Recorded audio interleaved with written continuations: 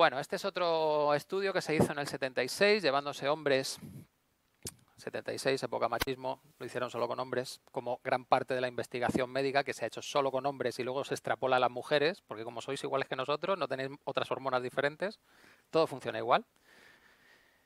Pues se los llevaron a una zona donde eh, habían reconstruido eh, pues cómo era la vida 20 años antes.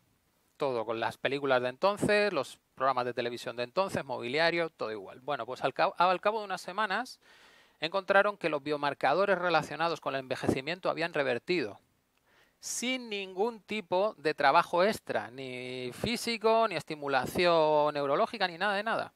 Habían revertido simplemente porque se sentían felices de vivir cuando eran jóvenes. Y le había recreado los estímulos que reforzaban esa sensación de ser joven. Y el cuerpo cumplía. De hecho, esto eh, puede llegar al punto de decir, mm, hay gusanos que no envejecen. Entonces, nunca morirían. Se pueden morir si los aplastas, pero por ellos mismos no, no hay envejecimiento. ¿De verdad que el envejecimiento es algo natural? ¿Que tenemos que envejecer sí o sí?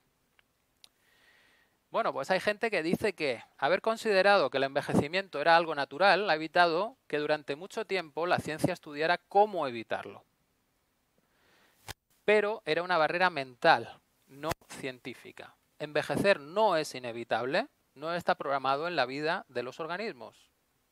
Presenciaremos la muerte de la muerte, no la inmortalidad, porque si te cae un piano en la cabeza morirías. Lo que se cura es el envejecimiento.